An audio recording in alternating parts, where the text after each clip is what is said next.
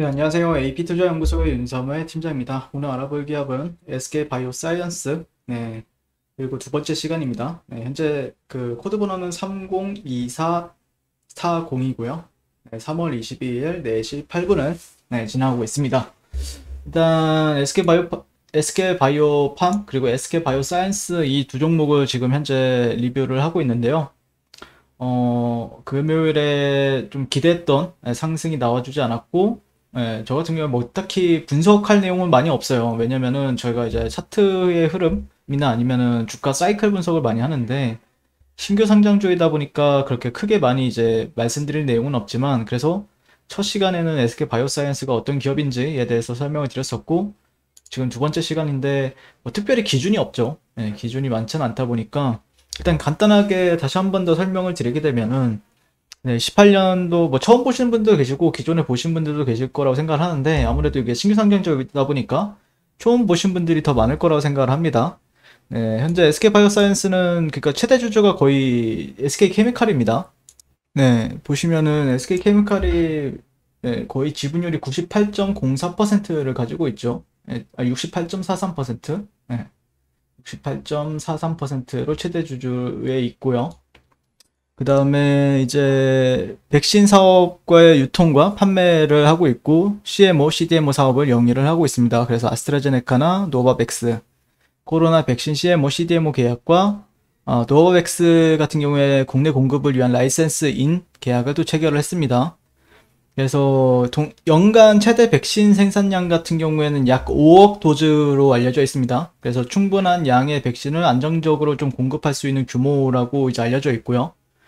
그래서 어떻게 보면은 백신에 있어서 코로나 백신에 있어서 최대 수혜주로서 주목을 받았었고 그 전에 이제 SK 케미칼이나 SK 디스커버리가 대신 많이 움직였던 걸로 알려져 있었죠. 그래서 SK 케미칼 위에는 또 SK 디스커버리가 또 SK 케미칼을 지배하는 구조고 SK 케미칼 밑에도 SK 바이오사이언스가 있습니다. 네, 그래서 이제 제약바이오 CMO 자체가 CDMO나 CMO 자체가 어, 실제 조금 실패할 위험보다는 조금 어, 어느 정도 실적에 기반을 두고 움직이는 종목들도 종목들이라고 좀 보시면 될 것 같고 아무래도 혁신 신약품은 뭐 개량 신약품은 아니면은 뭐 다양한 제약바이오 안에서도 전반적으로 좀 위치가 좀 다르긴 한데 어 어쨌든 계약을 기반으로 한 의약품 생산 서비스이기 때문에 어 난이도나 리스크는 좀 적습니다. 혁신 신약품보다는 그리고 좀 최근에 그 보시게 되면은 어, 기간 투자자 의무 보유 확약 기간별 배정 현황이 좀 나왔어요. 예, 그러니까 예전부터 나왔었던 거 같은데 나왔었던 것 같은데 저도 이제 찾아보고 이제 좀 이 구간에서 좀 보게 되었는데 찾아보니까 나오더라고요. 그래서 15일 정도 확약 기간 같은 경우에는 36만 주, 그 다음에 1개월 뒤에는 310, 11만 주, 그 다음에 3개월 뒤에, 그 3개월 뒤에는 또 330, 3, 333만 주, 6개월 뒤에는 394만 주. 이렇게 이제 천천히 물량이 풀릴 거라고 합니다. 네, 현재는 거의, 어, 어떻게 보면은 품절주에 가깝죠. 네, 현재는 품절주에 가깝기 때문에, 네. 일단 신규 상장주이니까 뭐 함부로 제가 얘기, 예측을 하기에는 좀 많이 좀 기준점은 없습니다. 네, 그리고 어떻게 얘기하는지는 좀 지켜봐야 될 것 같은데, 뭐 최근에 SK 바이오사이언스 지금 사도 될까라는 이슈도 있, 뭐 이렇게 뉴스도 나왔었어요. 한번 읽어보게 되면은 어, 공모가 대비 160% 오른 따상을 기록하며 코스피에 입성한 SK 바이오스가 어, 19일에는 상한가까지 이제 오른 따상상에는 실패를 했다. 증시 새내기 주식에 대한 프리미엄이 따상상에는 미치지 못하자 시장 참여자들의 관심은 SK 바이오스, 바이오사이언스의 사업의 성장성으로 옮겨가고 있다. 네, 이렇게 이제 옮겨가고 있다라고 합니다. 그래서 백신 전문 기업인 SK 바이오사이언스는 어, 항성항원 방식의 백신 제조 신기술 아스트라제네카와 모더나로부터 신종 코로나 바이러스 감염증 백신의 위탁 개발 생산, 자체 코로나 백신 개발 등의 모멘텀 덕에 어, 증시에서 높은 기업 가치를 인정받았는데 증권가에서도 평가도 후한 편이다. 한병화 유진투자증권 연구원 이분도 상당히 유명하시죠. 제약바이오 쪽으로는 유명하신 분인데 뭐 다양한 종목을 커버하고 있습니다. 뭐 HLB부터 아니면은 SK 바이오팜, 뭐 박셀 바이오 이렇게 하는데 SK 바이오사이언스는 백신 공동구매 컨소시엄인 코백스의 백신 개발과 생산 사업자로 선정되면서 글로벌 백신 업체로 도약할 계기를 마련했다. 그래서 개발과 생산을 동시에 진행하는 업체로 유일하게 선정이 됐다라고 말했다. 이어 현 시점에서 SK 바이오사이언스의 자체 개발 백신 성공 여부가 기업 가치 상향에 매우 중요하다며 자체 개발 코로나 백신의 2, 3상 데이터가 양호해 내년 하반기 출시가 가능하다면 큐어밴, 도바백스, 바이오엔텍 등 글로벌 신규 백신 업체들 수준의 기업 가치 성장이 가능할 것이다라고 이제 분석을 했다라고 합니다. 그러니까 CMO나 CDMO에 대한 모멘텀도 있지만 자체 개발한 코로나 백신에 대한 모멘텀도 있다라고 얘기를 하고 있고요. 그래서 상장을 앞두고 개최한 기자간담회에서 개발 중인 코로나 백신 후보 GBP 510에 대해 코로나19를 종식시키는 게임 클로저가 될 것이라 강조를 했다. 이렇게까지 얘기를 했다고요. 지금까지 출시된 코로나 백신들의 감염병 확산 상황을 완화하기 위해 신속성에 맞춰 개발됐다면은 유효성, 안전성, 경제성, 유통 편의성 등을 고루 확보해 저개발국에서도 어렵지 않게 유통될 수 있는 백신이라는 이유에서다. 실제 우리나라 같은 경우에 백신을 아직까지 개발한 데는 없죠. 예, 예전에 작년에 이제 제넥신이라는 곳이 제넥신 네, 이 회사가 가장 어, 거의 대장주격으로 치고 나갔었던 경험이 있었는데 어, 일단 우리나라 1호 치료제는 셀트리온이 되었고요. 지금 2호 치료제는 누가 될 것이냐를 지금 보는 구간이고, 그 다음에 백신 같은 경우 아직 없다. 네, GBP 510은 어, CEPI가 지원하는 차세대 코로나 백신 개발 지원 프로젝트 웨이브2의 대상으로 유일하게 선정이 되기도 했다. 네, 그리고 코로나19 백신을 이은 두 번째 유망 파이프라인은 산오피와 공동 개발 중인 차세대 폐렴 구균 백신 후보다.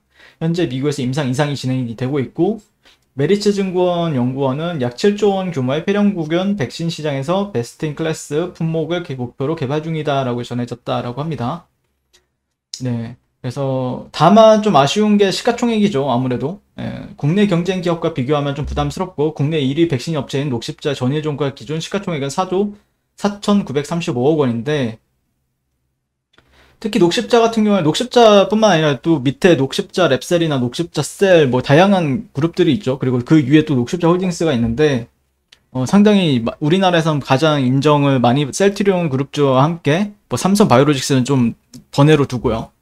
네, 근데 여기랑 녹십자랑 좀 어, 조금 비교하기는 좀 무리가 있어요. 네, 살짝 무리가 있긴 한데 굳이 따지면은 삼성 바이오로직스랑 조금 어, 경쟁을 하는 게 맞지 않나라고 생각을 하고 있거든요. 네. 그러니까 조금 다릅니다, 개념이. 네, 조금 다르기 때문에 삼성 바이오로직스랑 삼성 바이오로직스 같은 경우에는 47조죠. 47조고. 그 다음에 SK 바이오사이언스 같은 경우에는 11조. 네, 근데 최근에 좀 주가가 많이 하락함에 따라서 시가총액도 많이 줄어들었죠. 근데 기준점이 너무 애매모호해서 제가 이제 차트를 많이 봄에도 불구하고 제가 이제 SK 바이오팜도 리뷰를 하는데 어 이게 SK 바이오팜은 이게 혁신 신약 부분이에요. 네, 근데 뭐 딱히 기준이 없어서 최근에 이제 리뷰했던 거는 이 저점을 가지고 얘기한다. 네, 여기서 이제 위에서 노라, 상장 시초가를 가지고 얘기를 하는 건데 최근에 SK 바이오팜 같은 경우에는 약간 고평가 논란에 좀 휩싸였던 부분들이 있었죠. 그리고 어 지금 결국에는 귀에 걸면 귀걸이고 코에 걸면 코걸인데 심리적인 영향이 심리적인 부분들 그러니까 심리적인 부분들이 회복하기 위해서는 주가가 이제 꺾어 꺾어 들어가는 움직임들 네, 그런 게 좀 중요하겠죠. 네, 그 전까지는 조금 보수적으로 보는 게 맞고요. 그래서 제가 바라봤을 때는 어, 기준점을 두기가 좀 애매하기 때문에 어느 정도 좀 차트의 흐름에 있어서 역사도 좀 만들어지고 그 다음에 어, 역, 음, 흐름에 있어서 돈, 좀 돌아나가는 흐름이라든지 그리고 의무 보유 확약 물량이라든지 그런 걸 좀 체크를 하면서 어, 보는 게 좀 맞지 않을까. 예, 지금 현재 관점에서는 뭐 급하게 매수 관점이다 아니면 뭐 매도 관점이다 라기보다는 어떻게 보면 지금 구간은 기존의 공, 어, 기존에 어, 청약을 하신 분들의 영역이다라고 보고 있어서 음, 네. 이 저점 같은 경우에는 아무도 몰라요. 아무도 그 뭐냐, 안다라고 하면은 주체라든지 아니면은 이 기업의 최대 주주라든지 그, 그 정도 그 위에 고위급인 분들은 아, 시겠지만 당연히. 예, 근데 개인 투자자들이나 아니면은 뭐 쉽사리 기관 투자자들도 알 거라고 생각은 안 하거든요, 저도. 예, 그렇기 때문에 좀 보수적으로 보는 게 맞지 않을까, 예, 라고 생각을 합니다. 이상 SK 바이오사이언스에 대해서 리뷰를 마치도록 하겠습니다. 오늘도 시청해주셔서 감사드립니다. 네, 그리고 무료 추천 종목을 매일매일 드리고 있습니다. 네이버에서요, AP투자연구소를 검색하시고요. 웹사이트 상단에 AP투자연구소 홈페이지로 갈 수 있는 링크가 나옵니다. 어, 클릭하시게 되면 홈페이지로 접속을 하실 수가 있고요. 라이브로 깜빡깜빡 하는 게 보이실 겁니다. 그 밑에 2021년 무료 추천 종목이 있고요. 어, 클릭하시게 되면 매일매일 저희 소장님께서 댓글로 leading을 해드리고 있습니다. 3월 19일, 3월 18일 어, 계속해서 매일매일 추천 도와드리고 있고요. 오늘의 추천 종목의 동향을 한번 살펴보도록 하겠습니다. 7시 40분부터 댓글 리딩에 들어가신 걸 볼 수가 있고요. 주말 사이에 있었던 미증시에 대한 설명부터 상승과 하락에 대한 이유까지 댓글로서 리딩을 도와드리고 있습니다. 자, 9시가 되면요. 종목 추천이 나가게 되는데요. 종목명, 매수가, 1차 목표가, 손절가가 함께 제시가 됩니다. 오늘 같은 경우에는 투비소프트 현재가 2200원 기준 매수, 1차 목표가 2265원, 손절가 2100원으로 대응합니다. 이렇게 어, 종목이 나왔고요. 진양산업, GL, GL팜텍 어, 이런 식으로 어, 종목이 나갔습니다. 그랬을 때 주가가 상승하게 되어 목표가에 도달했을 때는 목표가에 도달했다고 댓글로서 leading을 도와드리고 있고 하락하면 하락하게 되었다고 손절에 대한 leading도 함께 해드리고 있습니다. 지금 이 무료 추천 종목은 로그인을 하지 않아도 누구나 다 볼 수 있는 공개되어 있는 댓글 leading이기 때문에 홈페이지에 오셔서 종목이 필요하신 분들은 많은 도움 받아가시면 좋겠습니다. 감사합니다.